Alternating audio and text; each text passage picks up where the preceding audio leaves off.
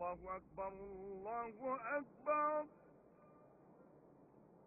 الله أكبر الله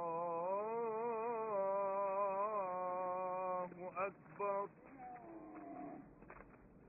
أشهد أن لا إله إلا الله.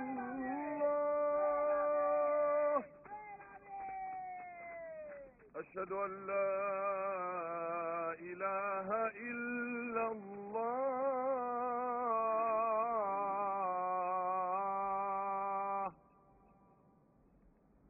أشهد أن محمد رسول الله. أشهد أن محمد رسول الله. حي على الصلاة أشهد أن لا إله إلا الله أشهد أن لا إله إلا الله My darling Betty, everywhere I go, I am welcome as a representative of our people. Our struggle is known and respected worldwide. Coincidentally, there are two white men who follow me around wherever I go. I wonder who they're working for. If I was a betting man, I'd say the CIA. What's your guess? I arrived. Today I arrived in Arabia. I have never witnessed such sincere such hospitality. sincere hospitality and true brotherhood as practiced here in the ancient home of Abraham, Muhammad, and the great prophets of the scriptures.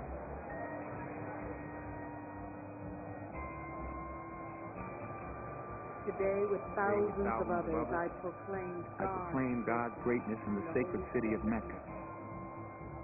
Wearing the ihram garb, I made my seven circuits around the Kaaba. I drank from the well of Zamzam.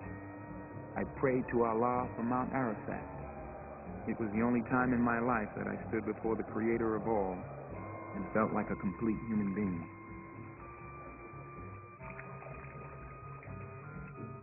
السلام عليكم ورحمة الله وبركاته السلام عليكم ورحمة الله السلام عليكم ورحمة الله السلام عليكم ورحمة الله Now you may be shocked by these words, but I have eaten from the same plate, drunk from the same glass, and prayed to the same God with fellow Muslims whose eyes were blue, whose hair was blonde, and whose skin was the whitest of white. And we were all brothers, truly. People of all colors and races believing in one God and one humanity.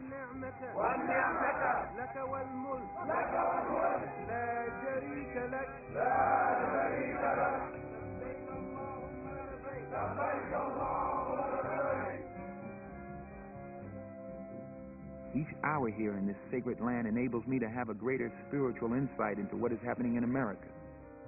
The American Negro can never be blamed for his racial animosity. He's only reacting to 400 years of oppression and discrimination. But as racism leads America up the suicidal path, I do believe that the younger generation will see the handwriting on the wall, and many of them will want to turn to the spiritual path of the truth.